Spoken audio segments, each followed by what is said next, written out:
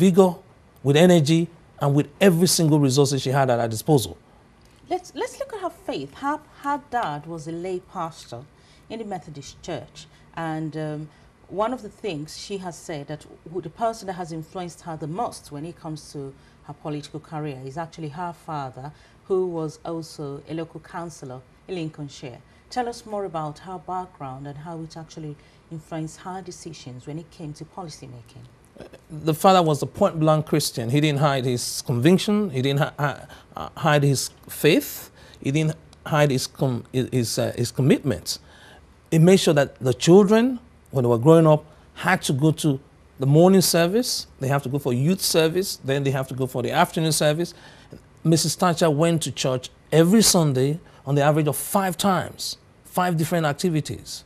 So that grounded her beliefs. That told her, look, there are people that are less privileged and needs to be helped. There are people that have already made it that you see, you don't have to legislate or lead for the top people. You have to lead or make provisions for people that are aspiring. That's one thing that is missing today in our politics because if you see a great leader, always trace the root. If you see a great tree, look at the root. How was the root laid? What was the foundation that was laid? It was a Christian faith. Oh, there was no, no, no compromise about that. You have to learn the foundations of the truth. You have to know that truth is not relative. If you know that truth is not relative, there are clear red lines. Love your neighbor as you love thyself. Make sure that you are doing unto others as you have them do unto you. Those were the guiding principles that informed her policies. And it showed all the way through her entire life. She still had her commitment to her faith. I, I just wonder if she had not, you know, brought about the changes when it comes to education. For example, one of the things she did is she said the money has to follow the pupil. Yes. If she had not done that, what would have happened to our educational system today? It would probably be uh, uh, as bankrupt as most of the, the, the fallen nations. You know, nations come in, in empires and then they fall. Because if you don't have education right, it means the next generation will be unable to carry forward the policies of the previous generation. She insisted, without any doubt, without any shadow of doubt. Remember, she was a double graduate. She was a chemist, and then she came back and became a barrister. So that tells you more about the personality. Because most people, once they've pursued one career, they're very happy, they're satisfied. So I've gone to send into my career. No, she had this insatiable drive to be able to achieve and accomplish things. So eh, as far as education was concerned, if you didn't have Mrs. Thatcher, we would never have had Ofsted. Because the, the, will have just run an education system as another social service or another group of civil servants trying to spend the money of the government without clear targets, without wanting to say, look, these are the standards we want to achieve. Without Mrs. Thatcher, I would not have had the so-called Open University. Open University was going through a terrible time and would have been shut down if you had somebody that was not convinced. That's the key thing. She knew what she stood for. And if she was unable to engage with people and say, okay, let's do it this way, she went her way. And that's the tag called Iron Lady. That's what they call controversial. If they cannot persuade you to do what they want you to do, they refer to you as controversial. She, she was not controversial in terms of uh, dealing down with issues. She had clear ideas of what to do. And she didn't want any man to undermine her femininity. Nobody, no man in the cabinet would want to try and undermine her and say, oh, she's a girly lady. No, because most women at that point in time were very submissive to the men's conviction. When she challenged the men and took them on and defeated them on the first occasion, second occasion, third occasion, then some men started waking up, and a few people mounted a campaign against her. But really? no, no, no matter what anybody says, Mrs. Thatcher did more for the educational system and lifted the British educational system up to a par that you now had international fees being charged in that time. So Britain really became an international icon because it was deep in they, had, they were elite universities, but the influence, the global influence, it's one thing for you to have an elite university, it's another thing for you to have global influence spreading. So it was not just British education, it was British education for the whole world. And she did. And, and, and she, she, she, exported the educational value, she exported the educational culture, she opened up the teaching and the training of young men and women from outside the United Kingdom who, which came here, sat under the tutelage of uh, British academics and professors, and went back home to implement or be influenced by such policies. Really, how can our politicians of this day imbibe some of her convictions and apply them in our environment? It will be hard not. It will be very, very, very hard. hard. Yeah, very hard to, to, to, to follow because uh, most politicians today are interested in being in power for the sake of power.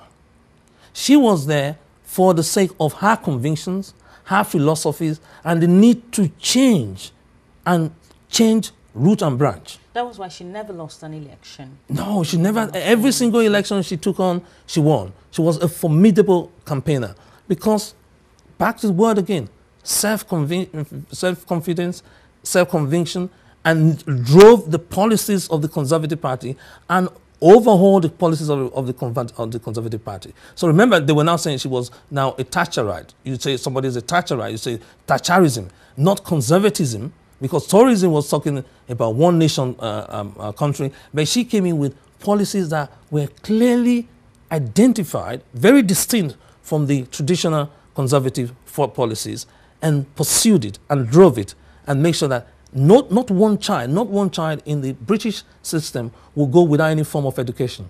She was able to, she was ready to generate another stream of learning, another type of education if students did not fit into the mainstream education that was available then. So nobody should be under any illusion that she wanted a 100% educated uh, um, state. She wanted every single person to be educated because if you are educated, you are independent. You are able to articulate your views and you are able to pursue your, your dreams. Tell us some of the features and distinctive features really about her personal Christian education. Okay, now she believed the act of worship as an integral part of learning. You know, today they're, they're, trying to divorce and trying to separate. Oh, this is a morning assembly, and then this is the learning of algebra, learning of, of, of biology. No, she believed that there is no way you can teach in a vacuum. You have to teach with a respect to whoever created that body of knowledge that you are, you are you're trying to acquire, or whoever created the objects you are trying to study. Because you can't say, I want to study leaves, and you don't know the origin of plants. You've got to know, acknowledge the origin of plants. And another, uh, um, uh, another um, point that a lot of the media, mainstream media, have glossed over is the fact that of her Somerville background. If you've ever been to Somerville College in Oxford, again, you know how her character was formed and how her Christian views, she can never divorce her Christian views from her personality. Because we now we have people, one minute they are Christians, and as soon as they get into power, they're forsaking every single thing they learned, and then when they're back off power, then they remember their views. Which means it's all about conviction here. Strength of conviction, ability to be able to take the flak because if you're not able to stand for what you're convinced of, then you will sell yourself to a false doctrine or a false living. She had her conviction. If she opposed you, she brought her points in. She was a great debater. Why? Because if you look at the life of Paul, in, in the New Testament, you understand that Paul was another person that was a great debater. Paul was able to almost convince the, the, the, the king, say, Oh, I'm almost persuaded of what you are saying or what you are doing. So you can see that her conviction was based on a found foundation. She knew what was good for the community. She knew what was good for the individual. She knew that the individual had the ability to tell what was good or what was bad and how to pursue it. If she empowered that person, then she'll be okay in terms of pursuing her dream and achieving what she wanted to achieve. Another thing she brought in that most people have conveniently forgotten, and nobody's mentioned this in all the reviews I've seen, is that she introduced what is called now the national curriculum and national curriculum levels. Really, yeah. Now, before her time, we just went to school. We studied and then we learned. And we studied and we learned. We didn't have any way of quantifying what you learned and what you were going to aim through what you learned and how you're going to develop on what you've learned. What you learned and how that can tie up with your child development. We just had regional uh, policies here and regional policies there, and then whatever happened, that was fine. But she said, no, we should have a body of knowledge that should be minimum for every single child in the education system. So when you see here people talking about I'm, I'm level five or level six, what they really mean is national curriculum level 6 mm-hmm. national curriculum level 5 that never happened. there was not such thing before mrs thatcher so if, if we are going to be grateful we must be grateful to her for that for, for really bringing out how we can make learning measurable how we can determine the body of knowledge that we acquired how we can then work on that how we can then schedule so okay each academic year will move you one level or half a level or a quarter of a level up we, we nobody would have ever thought of that. So the fact that said, oh, she was longest serving politician, I, am very uncomfortable that she was a leader. She never ever allowed any single person, especially when she knew she was convinced, to, to dissuade her of anything. She went to Europe. She looked at the way Europe were doing things. She came back. She formed a policy. And when she disagreed with Europe, she made it very clear to them.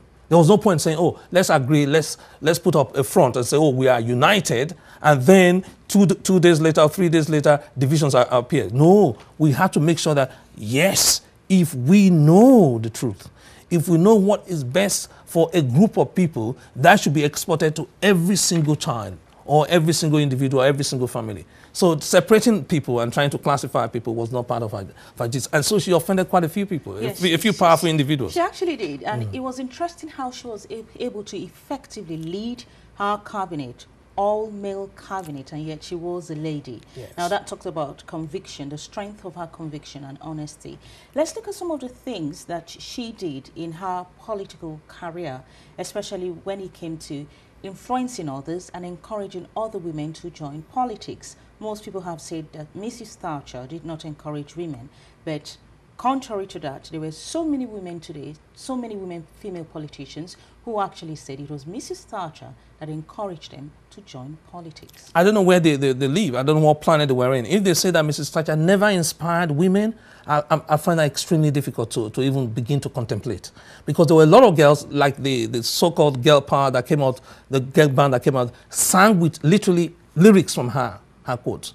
I can never ever believe that because remember another thing that most people have forgotten that Mrs. Thatcher brought in television into the House of Commons. So she exposed every single woman to body politics. When they asked her, what about combining motherhood and, and politics, she, she looked at them and said, look, every single school holiday is synchronized with the House of Commons and the House of Lords. So when the students are on half time, I'm able to spend time with them and do domestic activities. That means go shopping, sit in the kitchen, do work herself, not employing a housemaid, a butler, and, and, five other people to wait on her. She was a straight talker and she went into it. So if you say that she didn't inspire you as a lady, I, I wonder that because she combined every single facet of the womanhood and then she came into a male-dominated, highly patriotic political system. And then she not only survived the first term, she thrived the second term, and she would have rode on for, for a long time, if not for her conviction. You see, that's what I'm saying. If she was ready to stay in office and not be in power, that means not influence anything, she would have even stayed longer.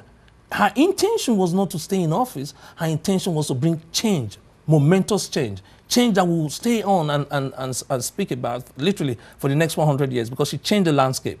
And, really? and every lady on, on the planet should look at her and say, yes, if she can do that, any lady can rule men, can be asked to lead men can be asked to deposit real talent that you have in you, express it, whether it be in politics, whether it be academia, whether it be in sports. No, you you got to be able to prove. To do something. Yeah, do something with the talent that God has given you. God has given you. Definitely. Let's look at Mrs. Thatcher's uh, school, her college, um, Oxford University. How did it affect her leadership potentials and her female education? Now, at Oxford, you, had literally had a one-to-one -one, uh, tutorial. That means either yourself and your professor, or yourself and your professor and one other student. So you didn't have any hiding place. And so you had to do your coursework or your assignment and they come in and defend it. So literally, if you had a class of 20 students, then you can hide. If you have a class of 20 students, then you can give excuses. She was made not to be able to say, look, I couldn't do this because of this. And when, it came into, when she came into parliament, she read the briefs of every single minister. If she sent a minister on a particular mission, she knew about the mission, she read it, and they came back and was able to interrogate the minister. So that meant eh, if you were working with her in, at cabinet level, you had to be on your toes all the time. Yeah, you, you, couldn't, you, could, you couldn't hide. Yeah. So, so the drilling and the leadership training that she got from Somerville College literally turned everything around and refined the grammar school girl that came into Oxford and turned her into a potential uh, formidable force. Not, not every parent can actually send their children to such schools now, definitely, because getting to such schools is actually highly competitive. But parents can actually help their kids imbibe some of the cultures that she actually imbibed in Oxford. Can you throw more light on that? That's useful comment for you to make. I will probably want to reflect more on that and say, I believe every child can at least have a taste of the Oxford education, either at undergraduate level, postgraduate level, or doctorate level. So if you miss it at one level, come back again and come back until you have a taste of it because of the uniqueness of the Oxbridge um, education. But if you're unable to make it for one reason or the other, understand one fact that you are there to show that you can do it. That's one. Two, you are there to show that you can independently learn. So, you know, sometimes we have to wait, oh, I've not been taught this, oh, I've, I've not heard about this, so I need somebody to explain this to me. No, you have to be able to know that because it's your area of passion, in your personal statement applying to university, you said this was my passionate area. I won't read any other course except this. And you wrote that in your section 7 of your UCAS form. Now you need to demonstrate it by saying, because it's my area of passion, I will go and acquire every information, every knowledge going, everything that I can, I can get hold of, I must go and acquire it. And, and that played a lot when it came to her governance a lot of students and mates that she met in Oxford were again the people that she um, um, interacted with at uh, government level, and she was now able to understand their psychology.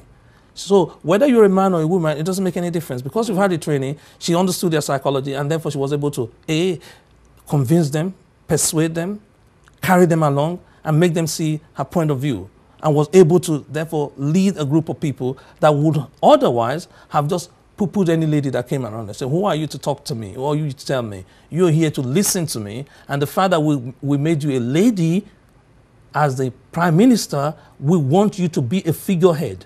So I can remember a member of the cabinet saying, Oh, she would just be like the queen because the queen is a non executive leader. No, she didn't want to be like the queen. She had her hands on the levers of power and she wanted to pull or push depending on what she felt was best for the nation which means emphasis should be laid on independent learning. Parents can actually teach their kids how to learn wherever they want to go into, whatever course, independently. Independent learning and continuous learning. Because if you acquire the skill to independently learn, it means that you always learn and therefore be able to acquire new knowledge. And when there is a dynamism, when they are changing pace, you are able to therefore move with it. You become an early adopter of technology. You become an early adopter of any philosophy going. Why? Because you have been able to research that area and leapfrog sometimes go past people that have uh, already have that body of knowledge and think that because they have a certificate in an area, they are authorities. She, she believes that you don't have to have a certificate in an area, you just have to have an interest in it. And she read, and she read, and she read. Thank you, Dr. Chris. Now, viewers, if you want more information on how to learn from the legacy of Baroness Margaret Thatcher, you can actually log on to www.theimafidons.com. Let's look at one of the things that have actually bothered a lot of politicians and even parents in this country. Uh, the riot that took place last year, the high percentage, a higher percentage of those that took part in the riots were actually NEETs. Mm. These are our youths that are not in education, not in employment, and not in training. But you will be speaking to some of these NEETs on the 1st of May. Tell us some of the content of your talk. Yeah, um, Sonia, um, a lady that um, have worked with a lot of youths and have inspired uh, quite a few people, Sonia Maggie, um, spoke to me after the careers day and said, oh, do you mind coming to, to just speak to the, the youths in the area? And then I, I said, okay, we'll consider, we chatted, and then we agreed, so yes. Because what I don't understand is that youths are the prime of their physical ability, intellectual ability, how can you then say that with such a huge blessing, you want it to lay waste? Because you are right at the peak of, of, of things. If you don't engage and use their energy, and use their time, and use their effort, somebody else is going to take it and abuse it. So you might as well get them to know that A, there's so much going for them. B, the opportunity is vast and completely endless. See, there are a lot you can do for yourself now than your grandparents or your great grandparents would have imagined. So every youth that believes they are not in education, you have to think again because education gives you these tools, it gives you the skills to be able to use your talent to the best of your community and then profit from it. Because profiting is a, is a good thing, so it's, a, it's not a dirty word. Because if you sow a seed, you expect it to grow and then you, you expect to, to harvest from it. So I'm, I'm not against you. That's why I, I tell them, you can be a multimillionaire based on your skills. If you develop your skills, hone your skills very well, and then market it or make it available to somebody's who will find it useful or somebody whose problem is being solved by your creativity. Because youth are extremely ingenious if you allow them to flow in their area of interest. Really, education is beyond the four walls of a classroom. Now, what can our government do to actually motivate our youth to continue their education and be involved in continuous learning? Our government must uh, re-educate us and reorientate us to think that Education is one thing, certification is another. If you get a piece of paper at the end of an exercise saying that you have now passed a degree or passed a diploma, that's a certification. That can also occur without a piece of paper. You now have a skill. Or you say, oh, I didn't know this. Oh, I just found out that, oh, mobile phones have cameras that can be used for broadcasting. And therefore, you explore that and explore that and, and film and upload them into a particular website or film and upload them into, onto a particular blog. Or what are they doing? That's, that's a skill. That's a skill you are developing. But because you don't have a piece of paper, you might say, oh, no, that's not useful. Oh, no, of course it's useful. It solves a problem. It helps communication. It assists people that were inquiring about an issue before. They, they go do a search on the internet and they're able to pick up your blog. So you are very, very useful. There is no member of our community that does not have a function for this community. If every single shirt I have in my wardrobe has a purpose, I use some for my summer, I use some in my winter, every shoe, pair of shoes I have has a purpose.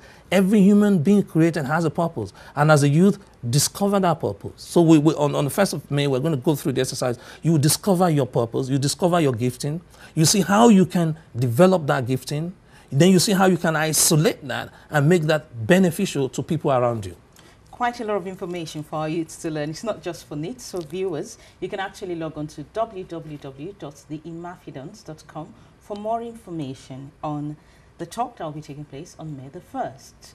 Now, let's look at our parents. What would they learn or gain from the webinar that is coming up on the 15th of April? Yeah, 15th of April is a, a, webinar that says all you need to know about your GCSE and how to help your child with the GCSE. How you can help a child doing an art paper in GCSE, a social science paper, a science paper, and a maths paper because the different strands of knowledge being tasked are done slightly differently. And you don't have to leave location. I know some people say the webinar is taking place in London. No, it's, although it's being hosted in London, any machine, any computer, any computing device from any part of the world can log into it and be able to follow through. So if you have a high school student that feels very demotivated or has had real rough time in school, or they've had teachers that have been on erratic, that means you've not had continuous flow of teachers for one reason or the other, then it's a useful thing for you to log into. The parents have a role to play. We're just mentioning uh, um, Lady Thatcher now. What role, what supporting role can you play? You have to be the number one fan of your child. If you're not the number one fan, number one fan to do what? To cheer. You have to be the cheerleader. Say, oh yes, that is, did you have that as difficulty? Don't worry, let me even see how I can get resources or let me see how I can help you. You must not shy away and say, I'm not a subject specialist. Because I'm not a subject specialist, I don't know anything about it. No, not in the Google area or not in the so-called uh, search engine era. We can use most search engines to be able to get things out. So we'll give you a list of resources you can, you can use. We'll give you how to get hold of real tough past papers that your son or your daughter can do. If your son or your daughter does the tough pa pa past papers, when it comes to the new papers, then it's easier. So we tell you how to get legacy papers if, if you have problems with that. If you, have, if you have issues with using the web, we'll be able to demystify the web for you because some parents are still very techno, almost technophobic. I, I don't know why anybody would be technophobic when all of us today depend on technology. So it's, it's a useful webinar and it's free. You don't have to pay anything at all. Interesting. So it's free information for you. Where it will be taking place in London? It will be taking place in London. Uh, be hosted, uh, I think uh, Queen Mary um, um, kindly donated their facility for us. and so it's be, yeah. Queen Queen University will be, um, um, be made available to you. But you don't need to leave home. You don't have to cancel appointment. You don't have to travel halfway through the uh, the city. You you should sit at home. If I were you, I'll sit at home, click on the computer, and then just follow proceedings. Thank you so much, Dr. Chris. we are you. running out of time and we look forward to having you again. Thank you for coming. Pleasure. Viewers, remember this is Education Talk. Now, to get more information about the webinar that is coming up on the 15th of April for parents, you can log on to www.theimafidons.com. Meanwhile, there are so many resources there on how to help your child excel in class. Remember to send us emails to educationtalk at. In the meantime, have a lovely time and enjoy the rest of our programs.